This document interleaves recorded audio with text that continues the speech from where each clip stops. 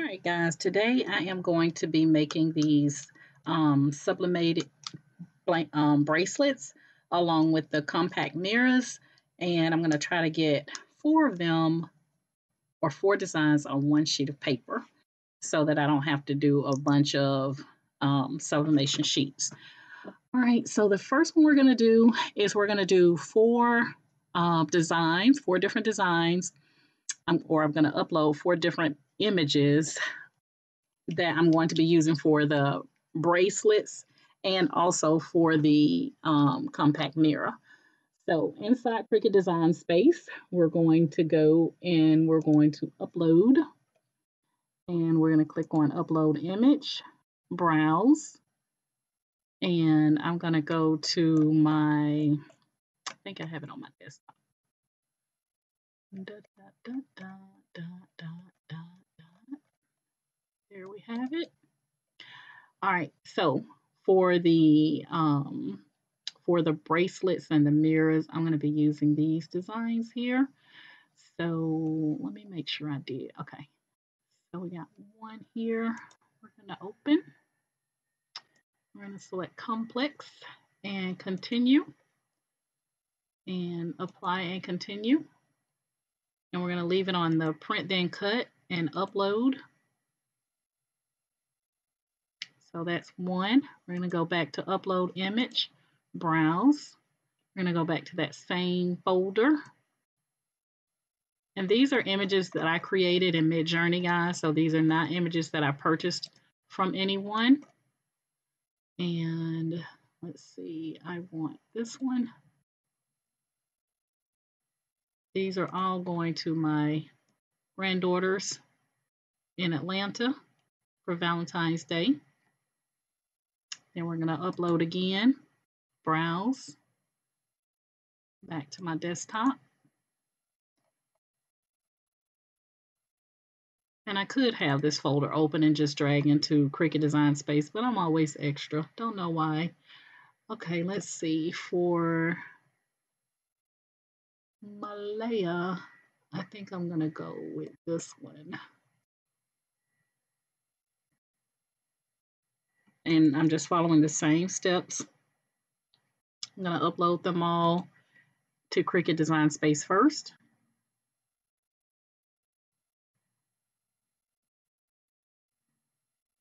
And then I will bring them all to my canvas once I get them done.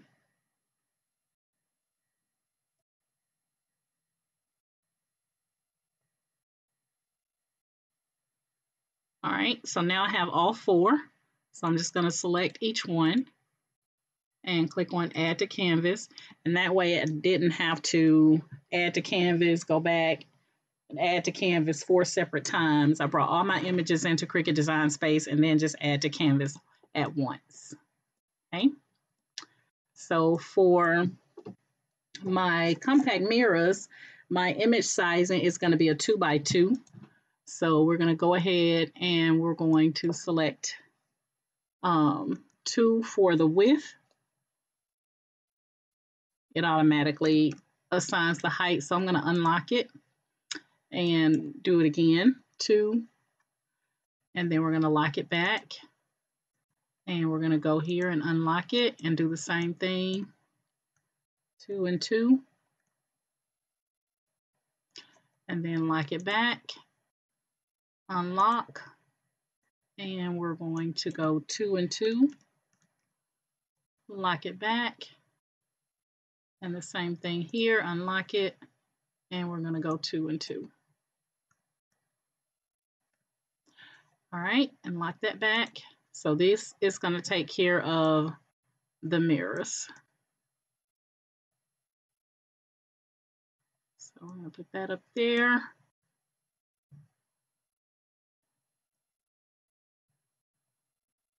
And then we are going to duplicate each one of these.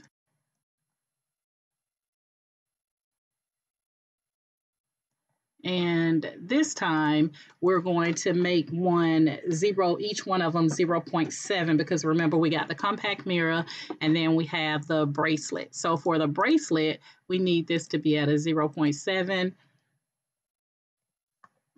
and a 0.7. So I'm making the, um, I'm going to make each one 0.7. And don't worry, guys, it looks really, really small on here, but you will be able to, you will be able to see it. But they are small. Okay, unlock 0.7 and 0.7 and lock it back.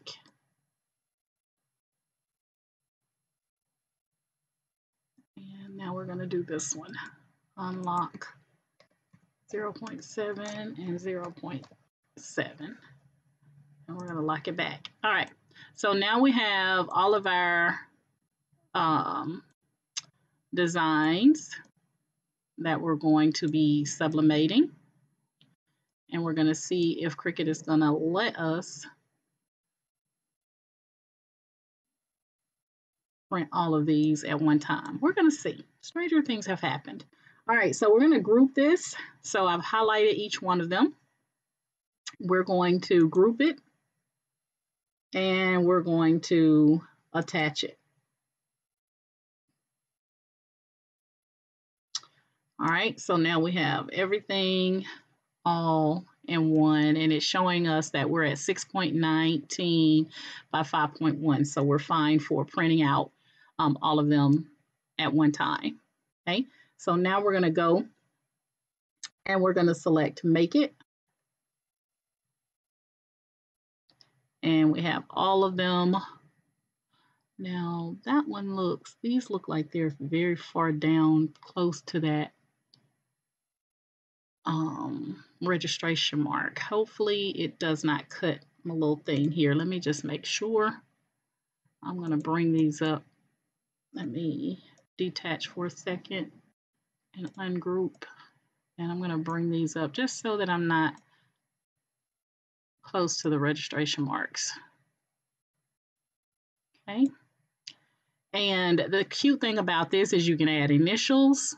I don't I don't recommend putting full names of kids um, of the child's name on anything because then people can pretend like they know them. But um, you know, you could definitely put you know, initials on here if you wanted to really truly personalize these. And we're going to attach again. And maybe I should have brought that one up too. Hold on. I'm getting really funny, guys. Y'all know I don't be in Cricut Design Space that much now. Like, hardly ever. But I don't want to compromise my um, cuts. All right, there we go.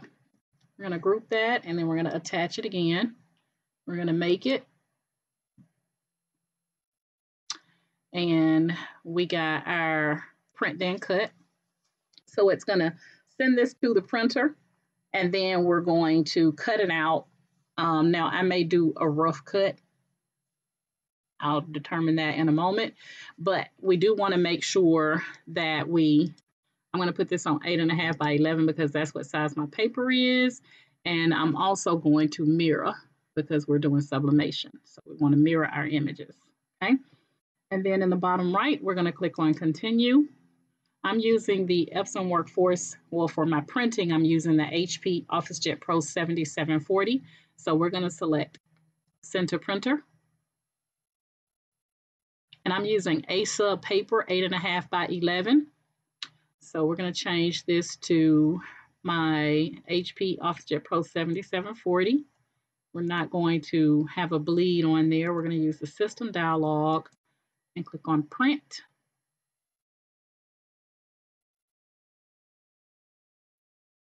And we're going to come back over to the Epson 7740 preferences. We're just going to make sure that we have it on plain paper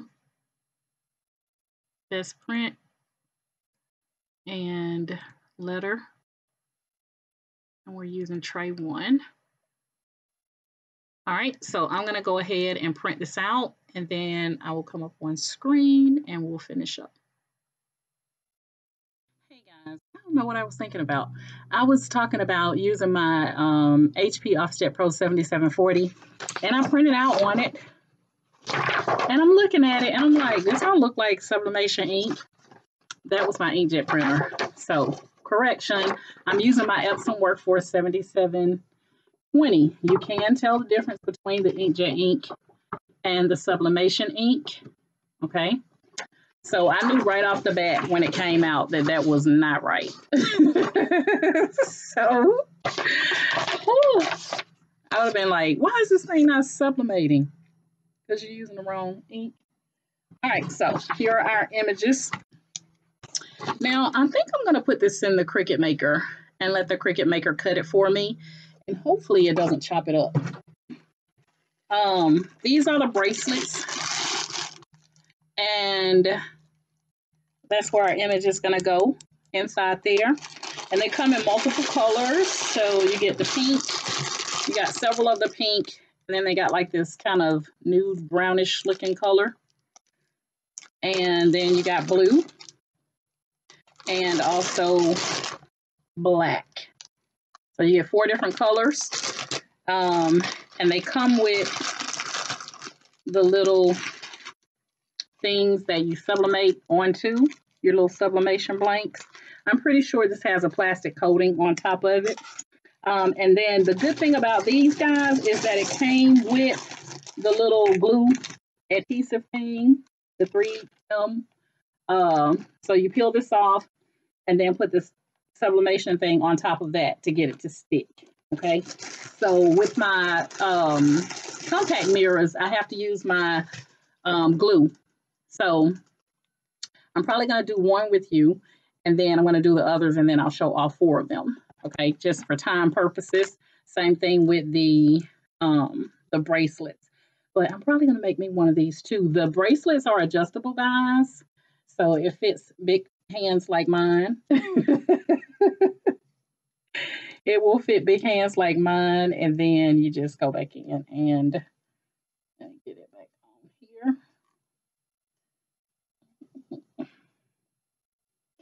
Okay. You just go back in and adjust it. I got to pull the right cord or string thing here. But they are adjustable. Let me see.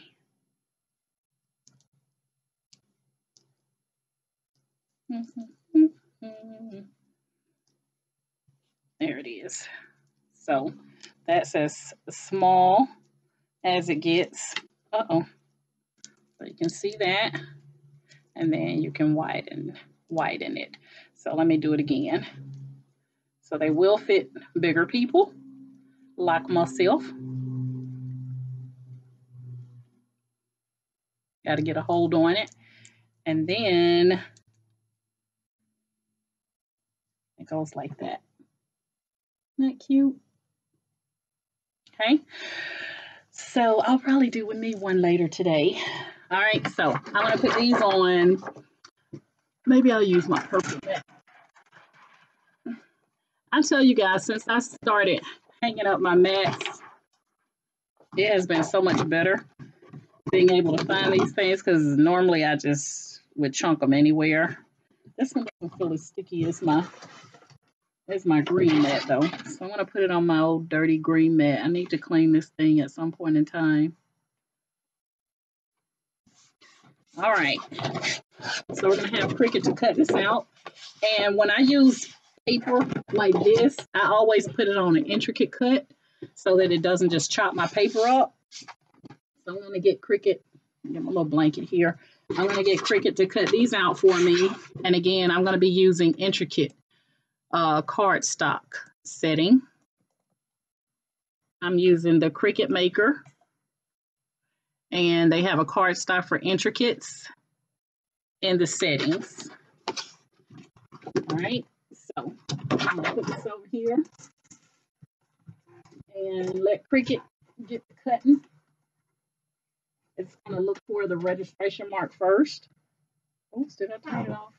I think I turned it off.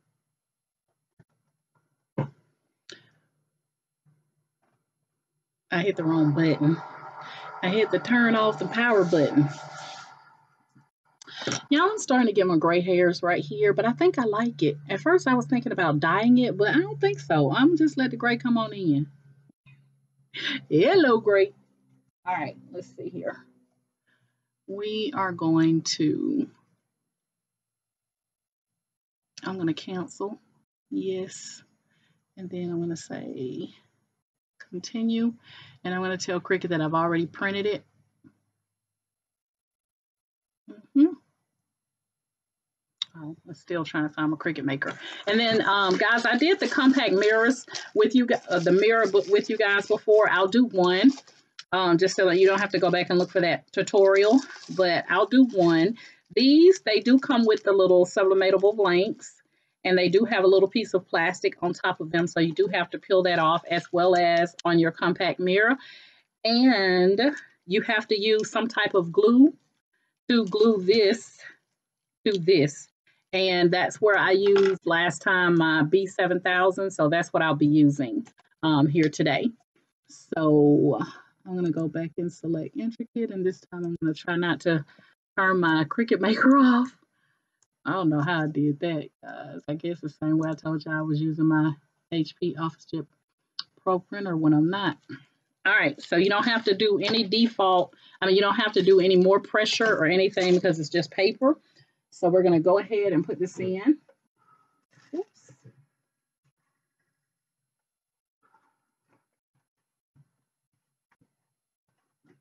All right, here we go. All right, so Cricut anytime, and I'll use the image here because I'm not going to turn my printer around, I mean my thing camera around.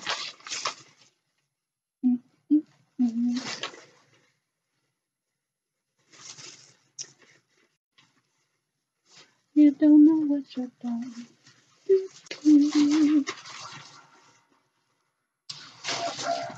All right, here it is.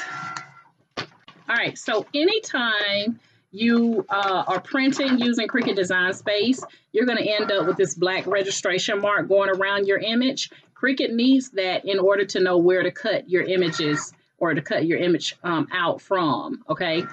That's the purpose of this registration mark. You don't have to panic when you see the black mark and worry that it's going to be in your over or the output of your project because it's not, okay? That's just to help Cricut to know where to cut. If at any point in time Cricut tells you it can't um, locate the registration marks, then you can get a black permanent marker. I would highly recommend using a ruler so you can get your lines straight and just go over those black lines and trust me, Cricut will be able to pick it up then. Sometimes it's your light, your lines may, may, may not be dark enough for Cricut to recognize them. So you can use a black permanent marker um, to help you out. All right, so far so good. It's no way I would have been able to cut those little 0 0.7 by 0 0.7s out myself. and it's done. All right, so all of our images have been cut out for us now. And I'm just gonna peel this off. And there's our images. And I'm just going to pop them all up because we're gonna try to kill four, bird, four birds with one stone. I was about to say kill kill how many, but I had to remember I'm doing four. Um, I need to calibrate my cutting machine because I haven't done it since I purchased it, which has been almost nine years ago now. So I can tell that I do need to calibrate it. And I hear my heat press over there letting me know that it is ready to go. I'm going to sub these guys at 374 for 60 seconds. Um, and I'm going to go go from there. So I'm going to line these up. I'm going to come right back. Okay, can't reach it.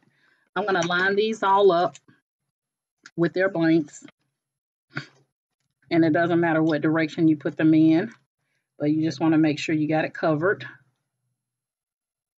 Okay, and you can use some tape to hold it in place like I'm going to do.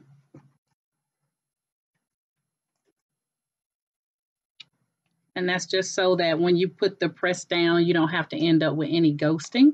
So I'm going to do that. And I'm going to get my blanks over here. Now, I did tell you that there's a plastic coating, and I did not take the plastic coating off. I don't know what's wrong with me today, y'all. But I know it is a plastic coating on here. So hold on one second here. Because if you don't take that plastic coating off, you're going to be sublimating onto plastic and not your um, thing.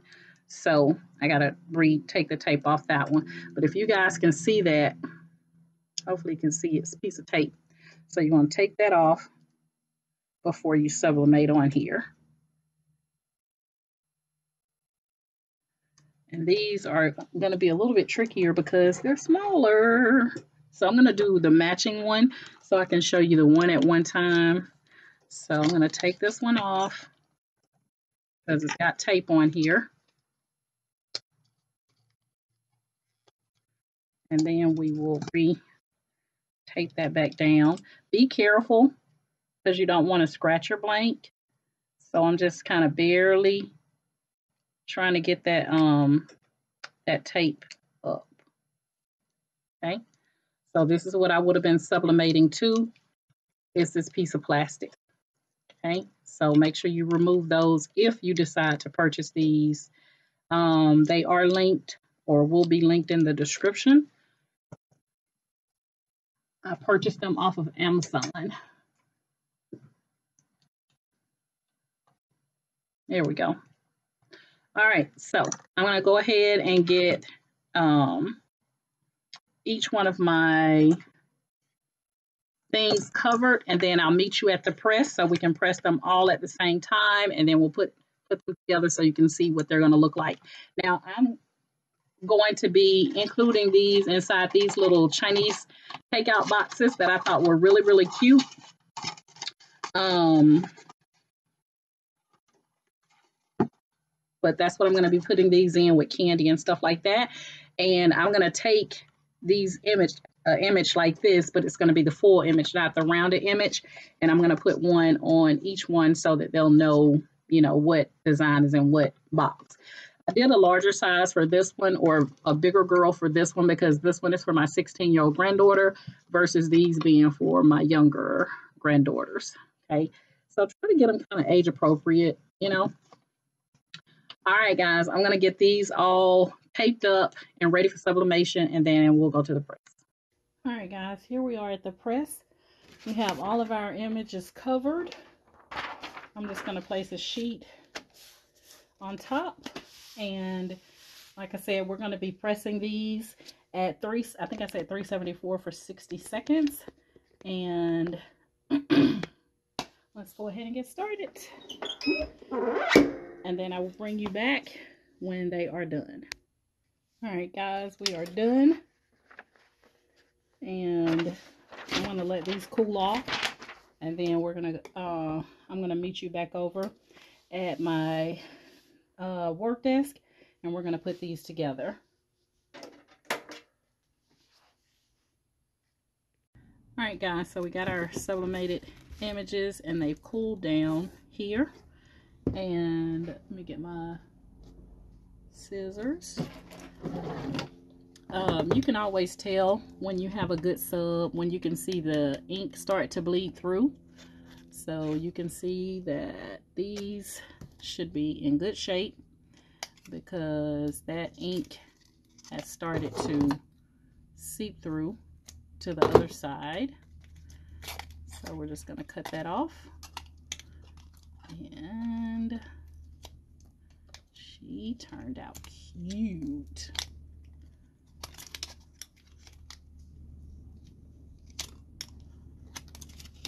Okay.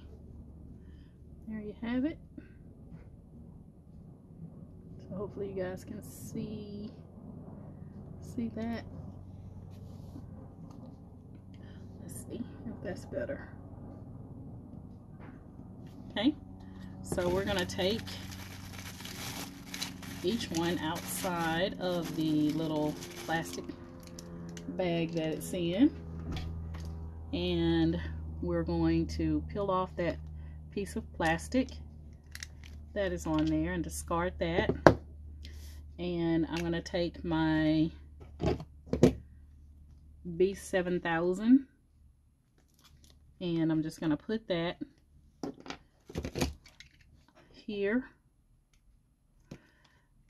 And last time I used this stuff it was so hard to get it out.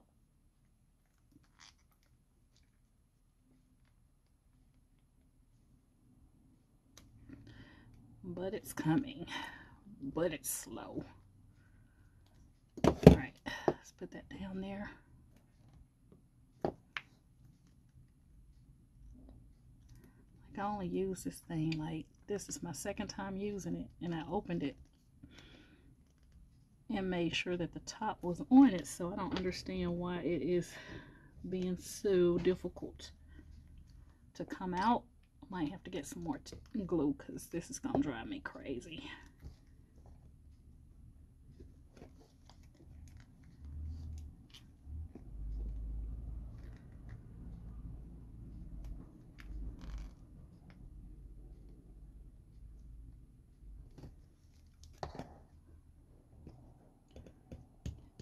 just gonna make sure I get it enough on here. I may be able to get away with it with my other glue that I have over here.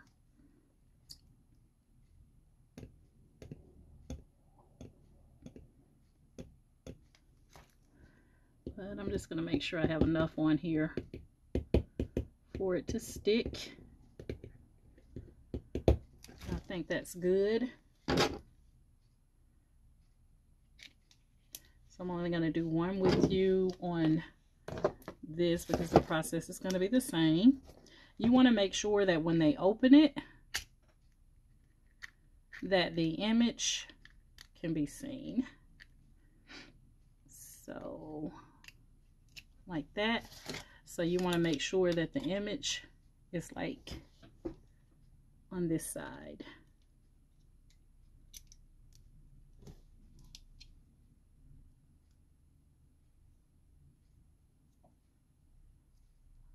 right just like that.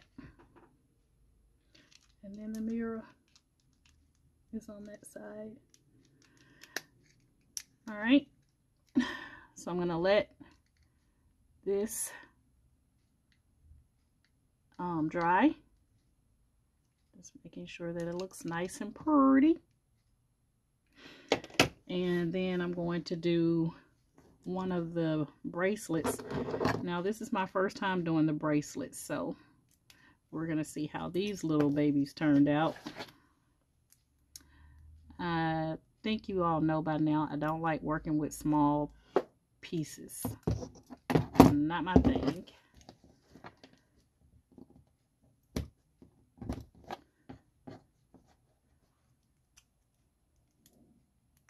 Okay. And let's take a peeky leaky. Oh, it turned out so pretty. Alright, so that's the one for Micaiah, my 16-year-old granddaughter.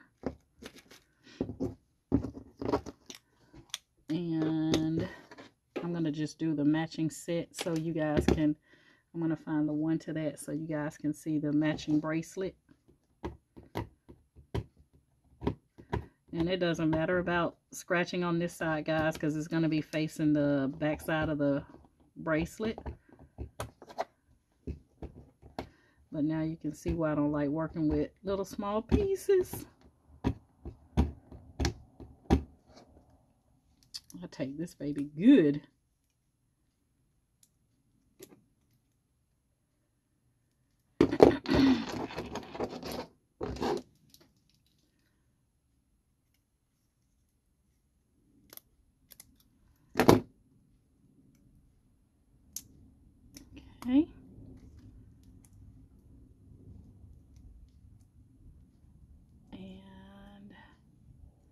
This is the other little peekaboo.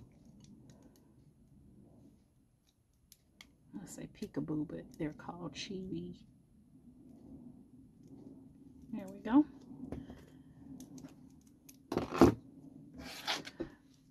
So that's the other one. I could have come over a little bit better, but they'll be fine. You guys do a better job than I'm doing. Okay. Let's get this next one off. Just so you can see how to connect the bracelet.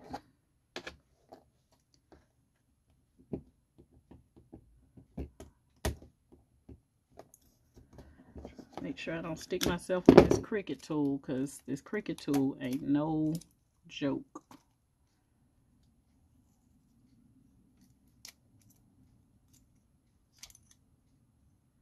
Okay, this is the matching one for that. So you guys can see, hopefully. And I'm going to take that one and hopefully this is double-sided. We're going to see. okay,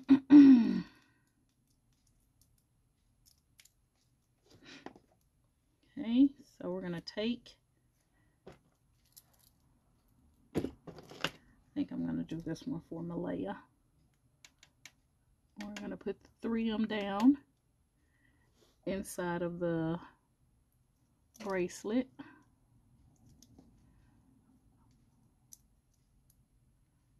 and then peel the other side up.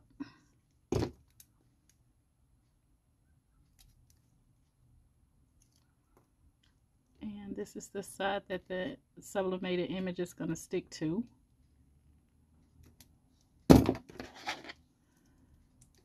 So we're going to pop that in there like that. and make sure you get it nice and tight down in there.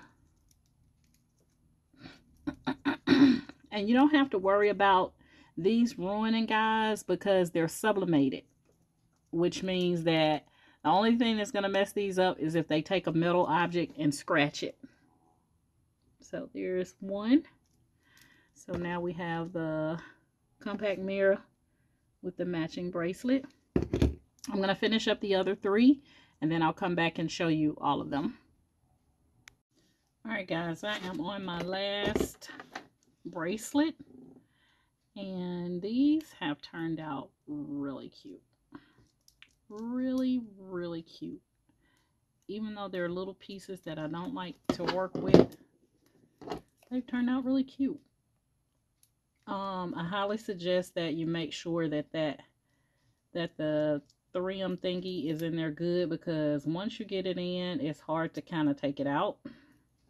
So um, I'm using my Cricut tool to make sure that I get it around the edges really nicely and that it's not sticking up outside of the bracelet. You can almost hear it like pop um, when you get it in there.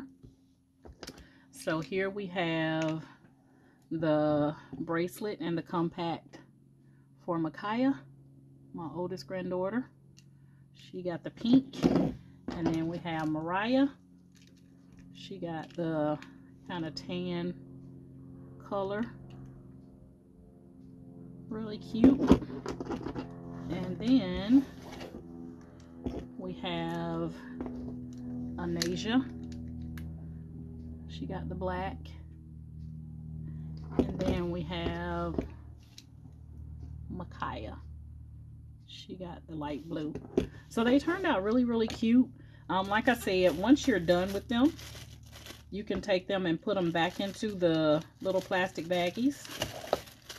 So the next tutorial I'm going to do is to show you how I put together the um, little Valentine's Chinese box which is this. These are all going to be going in one of those, each design for each granddaughter. and I will do a tutorial on that to give you some gifting ideas for Valentine's. So guys, if you um if you're currently in my Facebook group, guys, thank you so much for the love and support that you show via Facebook. If you would like to join my Facebook group, Candoris's Cricut and Creative Crafters, then please um, go to my go to the description in my video tutorial and click on the link for my Facebook group, which will be at the very bottom of the description. Click on that link and uh, agree to the Facebook group rules and we'll get you in. If you are currently subscribed to my YouTube channel, thank you guys so much for the love and support that you show via YouTube.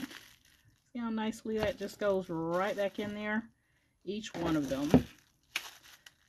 And I'm going to put a little piece of tape on the back. So now I got four compact mirrors and four bracelets. One for each granddaughter. So they're all going to be a part of their Valentine's gifts. All right, which I'll be putting this box together and I'll show you how to I do that. But if you are currently subscribed to my YouTube channel, thank you guys so much for the love and support that you show via YouTube. If you like my method of teaching, then please like, share, and subscribe to my YouTube channel. And um, I will also link in the description the supplier for the compact mirror as well as the supplier for the bracelets. And I think the bracelets, I think you get 12, 12 bracelets, three different color, four colors and three of each one. Okay. Um, yeah, but I'll link both of the suppliers in the description as well. And guys, you know my motto is each one reach one so that each one can teach one. And you guys have an amazing day. Bye.